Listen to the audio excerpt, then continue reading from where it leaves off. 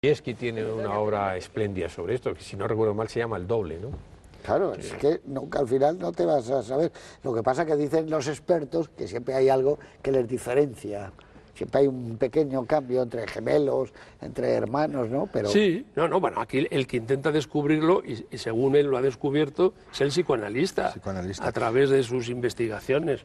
Que es un tipo que es un actor, Luaires, que, que me parece muy elegante, o sea, es un que hemos visto, quizá no sea una gran estrella, no, no llegó nunca. No, y además le pusieron, le pusieron la prueba porque él era un pacifista. Era objetor, de, conciencia, si no quiso ir a la Segunda Guerra Mundial. ¿no? quiso ir y todo le trataron muy mal y, tal, y aquí intentó volver a recoger su carrera. Es el que hizo sin novedad al frente. Sí, sí, sí, por eso queda curioso que, que hiciera uno de los grandes actores de una película eh, bélica, precisamente era. Y hizo médico, ¿no? El doctor Kildar fue, si no recuerdo mal, el Y era muy elegante y muy buen actor. Y el de Belinda.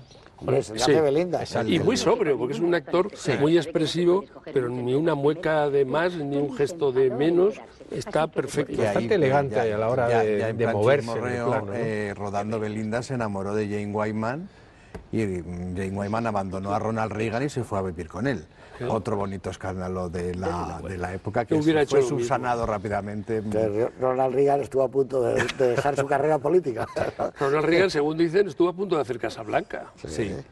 ¿Cómo hubiera sido Casablanca con Ronald Reagan? Pues no te lo puedes imaginar, pero, pero hubiera sido peor con George Raff todavía. También es verdad. o sea que... No era ninguno de los dos especialmente dotado para lo que estaba trabajando. Sí, pero aquí tengamos en cuenta una cosa, que es que hemos visto Casablanca con Bogart, no sabemos por qué con otro qué tipo de película Pero volviendo a esta película y a Leo Aires, yo creo que es buen actor en un aspecto fundamental, y es que te crees que es un médico. Sí. Eso, eso ¿De qué es que es un médico? Ah, ¿no? es que hay otros que hacen militares y de todo tipo. Es, ingeniero de caminos. Fontanero tampoco. Y este te crees que es médico. Bueno, está muy bien arropado por el decorado de su casa, por las cositas, los pequeños objetos, los cuadros, los libros, eso le ayuda, va elegantemente vestido, ¿verdad? Sí, sin exceso, pero... No, entiendes que, las dos, que las dos gemelas se enamoren de él. Y luego contrasta mucho con la figura de Thomas Mitchell. Yo creo que está muy bien elegido ese, esa, ese contraste de, esos dos personajes que están investigando los dos a la vez. Pero uno es el policía, eh, bueno, pues un poco está muy bien esa, doble investigación. Y luego por otro lado está el elegante eh, y, freudiano psiquiatra, ¿no? Hay un contraste ahí muy interesante. Hay una cosa que no hemos Yo dicho. Decía lo de Friedland. A mí esta película me recuerda mucho a una de Friedland que es Mientras la ciudad duerme. Y además trabaja Thomas Mitchell también, pero los decorados, Sí, la luz. y, la, manera de rodar. de repente entra alguien en una habitación, tú crees que ya acaba ahí el plano, y no, el plano sigue, porque va a haber otra cosa. Más allá de la duda, que plantea eh. también una, un, un, crimen planeado para intentar que sea perfecto, ¿no? Y demostrar ciertas cosas respecto del sistema. Hay una cosa que, que no hemos hablado todavía, vamos, que está muy bien en la película, que es el juego de los espejos. Claro. Que tiene una enorme importancia. Es por la metáfora del espejo reflejo del otro. Yo tengo aquí apuntado espejos. Ella dice, el, el, espejo, el espejo era yo, ¿no? Dice, no, tú eras el reflejo, le dice el psiquiatra. El título original es Dark Mirror, espejo, oscuro. Pero ya tengo apuntado espejo, espejo en la mesa, espejo en el salón, espejo en el tocador. es muy bonito el, movimiento inicial. Es la que se, yo creo que se notaba un poco. En cuando está en el tocador, porque está una mirando y la otra está justo detrás. ahí se nota un poco. Hay, hay un plano que es el, más bonito, con espejo, que están hablando las dos y una de ellas se refleja en el espejo y tienes a una repetida dos veces y la otra enfrente y luego hay una especie de contraplano que repite el mismo juego pero con una de espaldas y tal. A mí me parece que es muy expresivo porque estás viendo a los dos personajes y el reflejo de una de ellas, que es un reflejo que parece verdad, que es la realidad misma pero reflejada. Es que yo creo que ese, que ese plano que yo lo habría podido elegir dentro de la película, creo como tú dices que es muy, muy esencial para la película, porque cuenta visualmente mucho el lo que tema de la película, lo que es la película, ¿no? Que, porque la película habla de eso. Eh, otro cineasta un poco menos elegante que Robert Siodmak hubiera abusado de los espejos mucho más. Porque realmente, ¿cuántas apariciones has contado de espejos? ¿Tres? Yo no, que tres. Yo creo que son tres. hay más, Juan Luis, ¿eh? pero siempre son muy elegantes. Yo no vi tanto espejo. O sea, por ejemplo, eh, una, película que tiene muchísimos espejos, no tiene nada que ver con los espejos, es escrito sobre el viento. Todo el rato todo se refleja eh, en espejos. Y es muy constante. Llega un momento en que te terminas de aburrir de ver todo el rato reflejado la realidad la utilización y del espejo es elegante y no subrayada. Eso es lo que quiero decir, que no es excesivo, que no es un es que si no te lo pone delante el espejo, todo el rato, ¿no? hubiera sido una horterada. La, película, empieza en un, en un espejo roto, por lo que sea concretamente, y el reloj en ese maravilloso movimiento bueno, de empieza con la calle. Y se empieza con un decorado de Nueva York, se supone, que se nota que es decorado, ese se nota mucho, y, la cámara entra por la ventana y entonces recorre el apartamento, que está muy bien, muy bien iluminado. En cambio, el forillo canta un poco. Sí, porque... Claro, pero estamos dentro del presupuesto de la película. El fotógrafo Milton Kastner era un fotógrafo fantástico, que trabajó muchísimo. y probablemente diría, no hace falta, podemos empezar dentro del apartamento, no hace falta ver la calle, o poner un visillo, o poner una, algo para que traiga... Pero bueno, como era de noche... No, y aparte que eso lo vemos ahora, antes la gente juraría que es Nueva York. Ahora me preguntan mucho los chavales cuando ven, los, chavales jóvenes y las, chicas, ¿no? Eh, ¿Por qué siempre se empezaban las películas eh, con el plano de una ciudad? O casi siempre.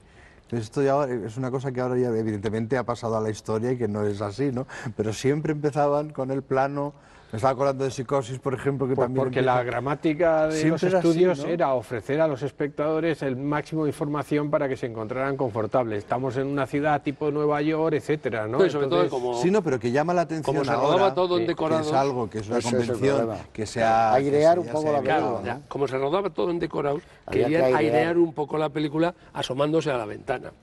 Hay un director español que no si no lo adivináis, no, no diré quién es, que no es contemporáneo, ha muerto, antiguo, que en casi todas sus películas, casi todas secuencias, termina con la cámara que se va arriba a un árbol, a un... pero casi siempre. Yo a veces las veo, las veo, termina la escena y la cámara se va para arriba, y a veces digo, pero ¿qué pretendía? Pero es que, es que en muchas de sus películas habría que preguntárselo a él, cosa que ya, no podemos. Bueno, y otros que utilizan la grúa para lo que sea.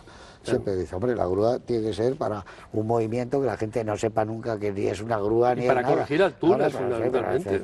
Y tú le dices, oye, Antonio, ¿qué? Y la grúa así, eso nunca se ha entendido. No, pero además es que la grúa tiene un sentido histórico. Como los decorados en aquella época no tenían techo, pues claro, cuando un personaje se levantaba, tenías que levantarte tú con él, porque si picabas, descubrías el, falso, vamos, que no existía. Que no había que. Entonces había que corregir alturas y por eso era la, la grúa, el, típico movimiento de grúa es alguien que dice taxi en la calle, abre la puerta y entonces tú lo tienes a él, se mete dentro del taxi, y tú te metes, baja y el taxi se va. Un ejemplo de magnífico grúa es el comienzo de ese, de ese de mal. eso ya no es grúa. eso, que eso es un camión. eso, es una virtuosidad brutal. Ultra movimiento. Y Delmer Daves es tipo que utiliza la, como elemento estilístico. Uno de los planos famosos de la historia del cine. Bueno, a ver, dime uno que te gustaría de esta película llevártelo a casa, un, A mí, me, a mí hay cosas que me gustan mucho, el final y tal. A mí me gusta mucho, aunque es previsible, cuando Scott llama por teléfono a Ruth y vemos que sale Ruth de espaldas, que finge ser Ruth, que yo creo que el espectador se imagina que la están engañando, pero en aquel momento a lo mejor la gente se lo creía y después de que el Scott ha hablado con Ruth, hay un pequeño movimiento, ella se vuelve, descubres que, no es Ruth, que es Terry, y como colofón de eso pasamos en tiempo casi real a Scott y aparece Ruth por la, por la puerta con lo cual es la clave para que la siguiente escena también sea muy brillante, porque cuando aparece Terry pretendiendo pasar por Ruth, Scott habla con ella sabiendo que está siendo engañado. Con lo cual esas dos escenas me parece que son muy hábiles de guion fundamentalmente. ¿Y para ti, Eduardo? Pues eh, yo he dicho que para mí el plano esencial, ya lo ha dicho y coincido totalmente con Antonio, es ese plano en el que están las tres, por ah. decirlo de alguna forma, porque es que al final son tres al asumir el papel de su hermana en, Ruth por parte de Terry, pero yo voy a escoger un movimiento que creo que le viene, un momento a la película que creo que le viene de esa semilla del expresionismo tan presente en todo el cine negro y en toda esta gente que viene de Alemania, y es la conversación de las dos hermanas en el dormitorio en el que están iluminados, una, una en negro y otra, y otra, vamos a decir, iluminada con el, con, mayor foco, con, el foco, de luz. Me parece que es prodigioso porque además se corresponde muy bien a lo que están hablando una y otra y anticipa ese mundo de las dos que en realidad está extendido y que obedece a motivaciones psicológicas y morales. Y la oscuridad de un personaje que es un personaje oscuro. se queda en la oscuridad el personaje de, de, de, Terry. Me parece, me parece que, te podría te podría enseñar las notas porque me las has quitado. Ah, lo siento, pero, pero, antes, el, antes el maestro Mira, no me ha quitado a mí el del espejo. ¿eh? O sea que Entonces tú, aquí, ah, vamos, vamos de postre con no, a mí, a mí, me gusta, cual, fundamentalmente lo que a mí me gusta de esta, de esta película en cuanto a la parte técnica, porque te la bebes, estoy de acuerdo con Antonio en que es un espléndido guion, es lo claustrofóbico que toda esa claustrofobia que se, que se organiza alrededor de ese minúsculo decorado en apariencia que es la casa, el apartamento de, de ellas. Todas, cómo están colocadas las luces, cómo están colocadas cada una al lado de la otra, cómo, se, cómo, cómo interactúan la una con la otra. Es algo que me, que, todavía me, fascinó cuando vi la película, más sabiendo que había truco, ¿no? Entonces ya estás ahí entre la mitad de estoy interesado por lo que me están contando de la historia y por otro lado a ver dónde está el truco, ¿no? Pues, pues, la palabra has dicho tu fascinación. A mí lo que me fascina de esta película es la presentación de Olivio de Havilland en ese edificio de oficinas tan bonito donde tiene despacho el, psicoanalista y donde ella está al cargo de la tiendecita de las revistas, de los caramelos y tal, porque me trae una época de mi vida de cuando había una parte que recordaba así, incluso Madrid, había una zona que eran los sótanos, eh, en una zona de la Gran Vía y había esas lugares donde podías comprar el periódico o incluso salir fuera y en Londres había tiendas y en Nueva York donde comprabas la prensa debajo, ¿no? Pero eso está muy bien, ese edificio de oficinas parece el del apartamento, parecen esos edificios tan bonitos, los ascensores a un lado, todo eso, y como con un decorado te puede transmitir la idea de la ciudad sin necesidad de que la vayas a ver. Eso es fantástico, ¿no? La sensación de vida dentro de un estudio. Eso es una maravilla. el puestecito es exactamente igual que el del apartamento. ¿eh?